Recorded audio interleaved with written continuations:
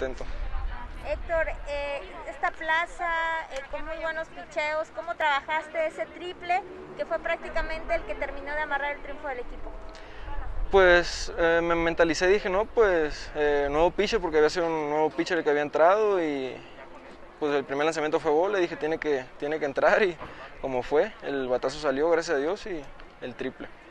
Eh, Héctor, ¿cómo ves a todos tus compañeros que están viniendo de la banca? Están haciendo un trabajo también. Se le ve un ritmo al equipo después de que los titulares salen.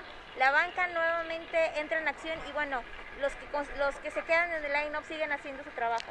Sí, claro, este, el equipo, como te digo, o sea, está muy, muy bien mentalizado de que cada que entre tiene que hacer su trabajo y pues eso es más que nada, por eso es un equipo y el equipo de nosotros está, está muy, muy conjunto y vamos para adelante.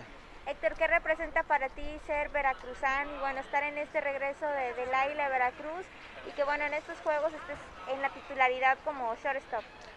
Eh, me siento muy contento, eh, más que nada pues la plaza, estoy en mi casa, entonces muy contento y agradecido con la directiva, este, por supuesto que, que me hayan dado la oportunidad de, de venir aquí al Águila de Veracruz y seguir trabajando y vamos con todo. Héctor, he visto que dos veracruzanos particularmente te han arropado mucho, en el caso de eh, La Vieja Hernández y también Kevin Flores, dos infield de, gran trayectoria en Liga Mexicana, ¿te, te han arropado? ¿Qué te han dicho ellos, Héctor? Sí, claro, este, me han ayudado, claro que sí, me han dicho que tenga la, la confianza de